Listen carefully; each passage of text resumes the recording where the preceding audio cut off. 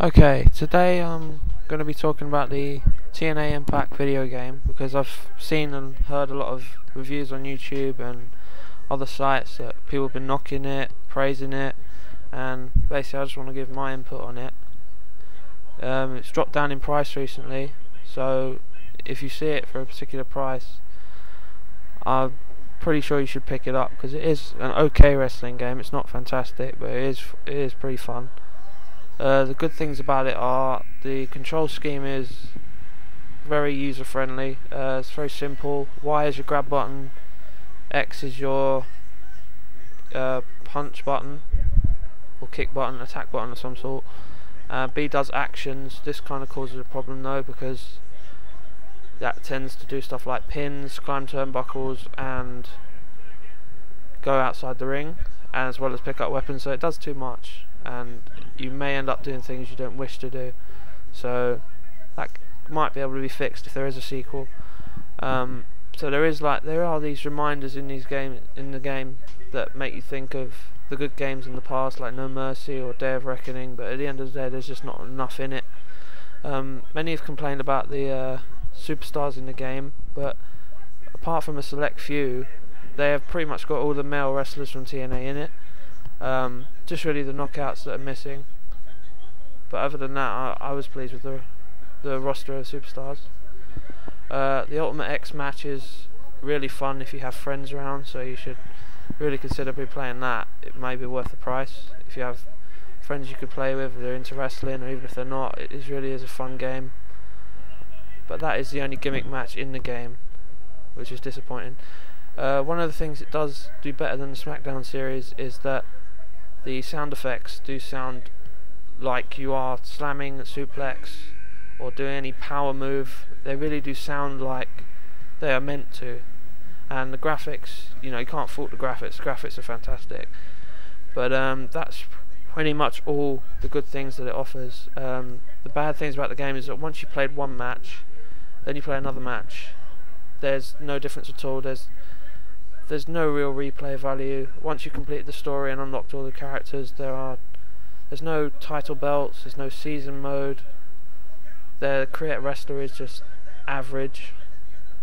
There's hardly any match types. Ultimate X is the only gimmick match, and the other matches in the game, like Falls Count Anywhere, that would just be an added stipulation to a SmackDown game match. So not very much choice there. Uh, the AI tends to be very cheap, and I feel in story I had to be as cheap as them, especially in the matches later on with Jeff Jarrett and Kurt Angle. They like continuously kick and keep you in a corner, knock you down again when you get up, knock you straight back down, and I feel like the only way I could get through the matches was to do exactly the same back. But um, yeah, the AI could definitely be improved for a next game. There's hardly any moves in the game, so all the matches that you play, you're going to be having to repeat a lot of the moves and eventually you'll be thinking, you know, they scan so many, and yet there's uh, very little moves in the game, which is disappointing because a company like TNA they they pride themselves on great wrestling, and yet on the game it, it's kind of, you know, to see them so many moves repeated, it's just makes you think it's really boring to do, and once you play one match, you pretty much played them all. Um, I have played the online mode. There's an occasional lag, and sometimes it will not load the match. It will take straight back to the lobby, which is disappointing. And um, I've also I have the Xbox 360 version. I pre-ordered it from Game. I got two bonus DVDs with it, which kind of makes it worth the price when I pre-ordered it. And the downloadable content which I got was uh, 100 points for Petey Williams and Curry Man, and Mike Tenay was free of charge. So they're, they're a nice add to the game, but they're not going to be anything worthwhile at the end. It was glitched at first. Uh, I think uh, Petey Williams had the model of Senshi and the entrance of AJ Styles, and Curry Man had Christopher Daniels' entrance, but he had his own model in the game, so that was well, still it's disappointing at first, but yeah, you got it re-downloaded for free, and it was okay. But yeah, that's pretty much it. Um, I would definitely avoid paying full price for this game, but I doubt it will be at that price if you ever see it for something like 19.99 in UK or whatever that would be in dollars, then I think it's worth picking up because you might have one or maybe two good nights with it, but eventually it's just going to go back on your shelf. So it's really up to you if you want to buy this game, but avoid paying as much.